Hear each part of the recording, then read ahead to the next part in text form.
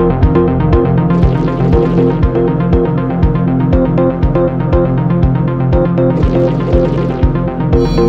you.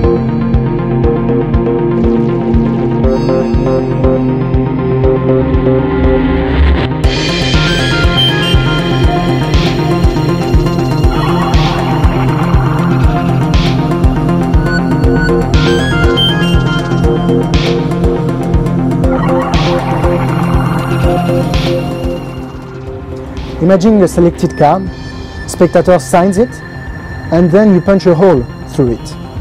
Visually, the spectators see the hole jump from one end to another of the card, and instantly everything is examinable.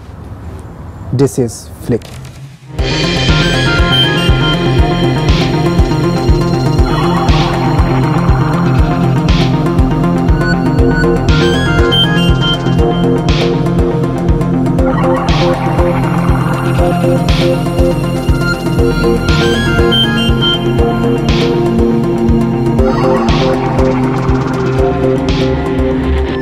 I'm Alex de and this is Flik.